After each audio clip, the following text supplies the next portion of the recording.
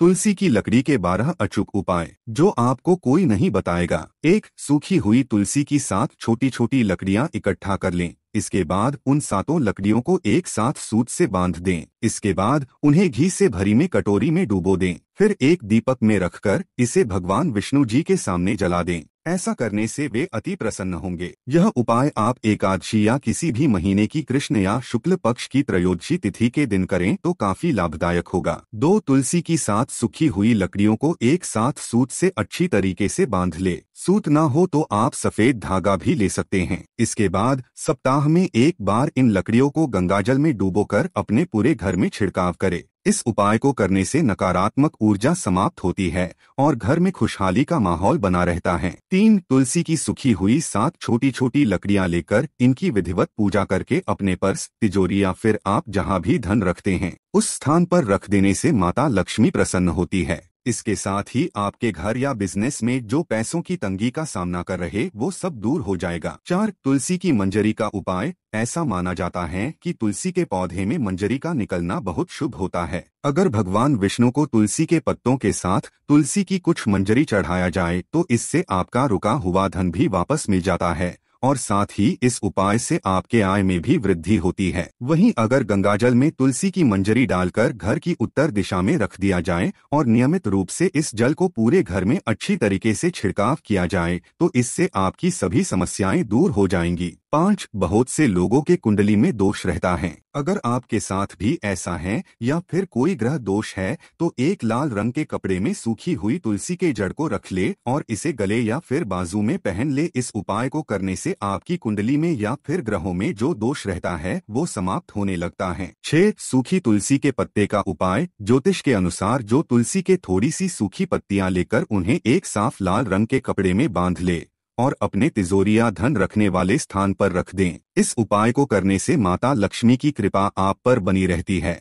और व्यक्ति को हर तरह की आर्थिक उन्नति में लाभ मिलती है। साथ, एक तुलसी के पत्ते का उपाय, हमारे ज्योतिष शास्त्रों के अनुसार अगर आपके हँसते खेलते घर की शांति चली गई है तो तुलसी के चार पाँच पत्ते लेकर उसे अच्छी तरीके से धोकर, पीतल के एक लोटे में साफ़ जल भरकर उसमें डाल दें। इसके बाद, नियमित रूप से नहाने के बाद, अपने घर के दरवाजे पर इस जल का छिड़काव करने से आपके घर से नकारात्मक ऊर्जा हमेशा के लिए दूर हो जाती है। और घर में सुख शांति बनी रहती है। आठ, जो तुलसी का पौधा सूख गया हो, उसका जड़ निकाल लें। इसके बाद इन्हें अच्छी तरीके से पानी से धो ले और फिर इसे किसी साफ़ सुथरे कपड़े में रखकर अपने घर के प्रवेश द्वार पे टांग दे। इस उपाय को करने से माता लक्ष्मी के साथ भगवान विष्णु जी की भी असीम कृपा प्राप्त होती है। साथ ही आपके घर में सकारात्मक ऊर्जा का प्रवेश होता है। नौ तुलसी के लकड़ी से स्नान हमारे शास्त्र और पुराणों में तुलसी के पौधे का जड़ से लेकर पत्ते तक का बहुत फ़ायदे बताया गया है। केवल तुलसी ही नहीं, बल्कि इसकी लकड़ी से जुड़े उपाय भी बहुत लाभकारी होते हैं। अगर आप नहाते समय तुलसी की कुछ लकड़ियाँ पानी में डालकर नहाते हैं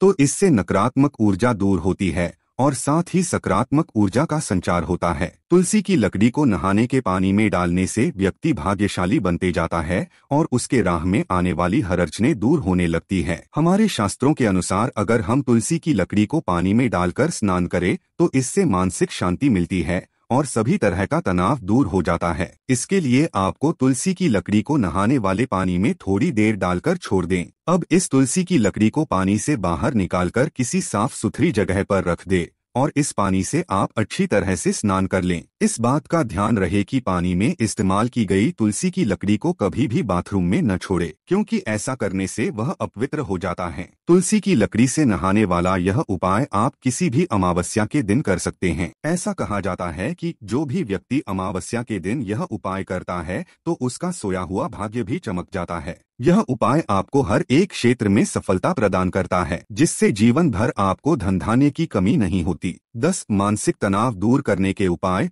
तुलसी की सूखी हुई लकड़ी लेकर उसे अच्छी तरीके से घिसकर उसका चंदन बना लें। हर रोज पूजा करते समय इस चंदन का तिलक लगा लिया जाए तो इससे आपकी मानसिक परेशानियाँ दूर होती है, शांति मिलती है, और अगर आपको किसी प्रकार का भय रहता है तो वो भी दूर हो जाता है, और मन में सकारात्मकता ऊर्जा का संचार होता है। ग्यारह सुखी वैवाहिक जीवन के लिए सुखी हुई तुलसी की कुछ लकड़ियाँ लेकर पति अपनी पत्नी के उल्टे हाथ में बाँध दे और पत्नी भी अपने पति के सीधे हाथ में बाँध दे। ऐसा करने से आपका वैवाहिक जीवन की समस्याएँ समाप्त होने लगती हैं और पति पत्नी के बीच प्रेम बढ़ते जाता है। बारह, तुलसी का पौधा सूखना। अगर आपके घर की तुलसी का पौधा अचानक से सूख जाए तो यह इस बात का संकेत देता है कि घर में कोई संकट आने वाला है। लेकिन कई बार ऐसा देखा गया है कि तुलसी के पौधे की सूखने की कोई वजह नहीं होती, बल्कि ये मौसम के कारण भी ऐसा हो सकता है। ऐसा कहा जाता है कि सूखी हुई तुलसी का पौधा भी अपनी पवित्रता बनाए रखता है।